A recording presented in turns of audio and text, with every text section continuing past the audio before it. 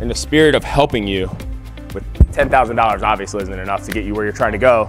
So I think we might have some willing folks in the room that might be willing to also help get you where you're where you're trying to go.